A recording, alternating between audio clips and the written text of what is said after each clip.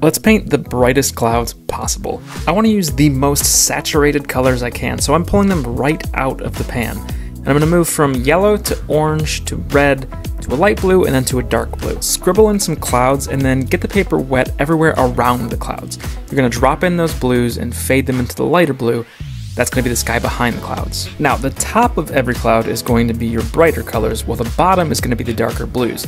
So I'm going to start with the dark blues and fade them slowly into the red and then into the yellow and orange. The extra benefit here is that the yellow and the blue don't mix together, so you don't end up with green clouds, you get purple clouds.